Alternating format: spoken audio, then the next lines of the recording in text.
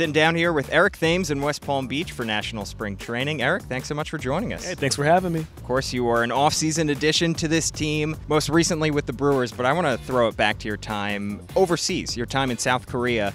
Three seasons you played over there, you absolutely mashed. What was that experience like? Uh, I would say it was life experience. Just kind of like being out of your comfort zone and pretty much like a sink or swim kind of mentality. So, what knowledge of South Korea did you have upon signing over there? Did you know anything about the people, the culture, the language?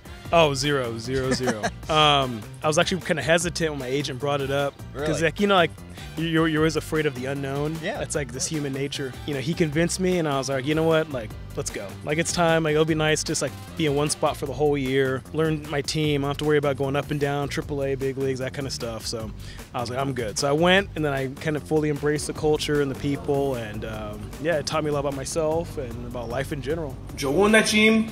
How quickly did it take you to acclimate to the culture in terms of you know, the, the food that you eat, being able to communicate with your teammates, that sort of thing? I mean, I was never really fluent, so it's hard. I mean, you could say like small things okay. to people, but in terms of actually talking like deep philosophy, like there, there's definitely none of that. no. Okay. Yeah, I mean, as soon as I landed, I mean, it was stopped at like a truck stop to get some like noodles, and like I never forget, like me and my American teammates were sitting down, and the Korean guys were just eating their noodles, and the water It was like boiling. It was like literally boiling, and they're just like crushing the soup, and we're just like, all right, let's do it. Like, and our tongues were like numb. We're like, how do you guys eat this? Like, do you guys have like calluses? Yeah, And they're just like, oh, yeah. we're used to it. I'm like. All right, I'll just have a few like granola bars, and or I'll just Right. like wait and like, oh, we, we gotta go. It's like my soup is still boiling, literally. So, like stuff like that, and you get used to it, and just like learning like what, what kind of foods you like, or like how to spell different words, and like how to walk in a restaurant and see, okay, this is a meat restaurant, or it's like a chicken, or Right. stuff like that. So, you learn. I mean, you have to survive, you know. well, you stuck with American food to start with, right? You Yeah. Oh yeah. Hitting up oh Dunkin' yeah, Donuts. Yeah. yeah. I lived at Dunkin' Donuts for a few months, and it was just you know what's crazy too. Like over here, like cafes open up like at six o'clock. Mm-hmm. Their cafes open like at nine, ten o'clock. So if I was going, if it was a day game, Right. and I want to get some food. Like there's, it was closed. Like cra- stuff like that, like little like inconveniences. Are just like I'm used to it being like this, so Yeah. now it's like this. You just have to adjust Right. slightly, but it was fun.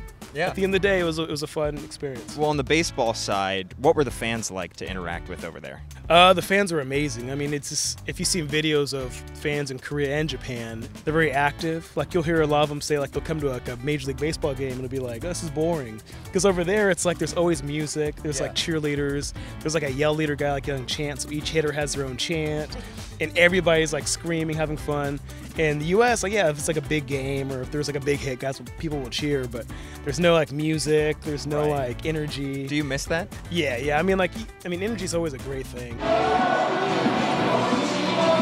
You know, if you play like in a really fun ballpark, like I was fortunate uh, being in Milwaukee, is like crowd was loud, it was always packed.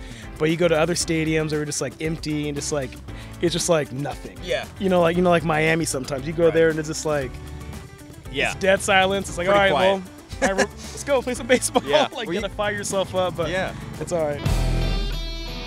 Well, you got a taste of uh, Nationals Park when you came to Oh, the wild yeah. card game at the most wild time of the year. I know, I know. I'm, I'm, I'm not bitter anymore, but yeah, like I felt like in the eighth inning we had that game. The crowd was silent, and then once Soto got that hit, it was just complete mayhem. It was so loud. Have you had time to mention that to Juan? No, hey, you know what? He, he did his thing. He did it. hey, it's baseball. You Yeah. know, somebody has to win, somebody has to lose. You know, so he did his job.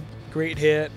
And he kept going. After that, it was like a spark plug, and he kept carrying the Nationals. And um, you know, so good job on him. He's a world champion. Yeah. you can never take that away. Awesome. Well, we appreciate you taking the time and sitting down, talking a little bit about your previous experience overseas, and then now joining the Nationals. Eric Thames joining us here on MASN All Access.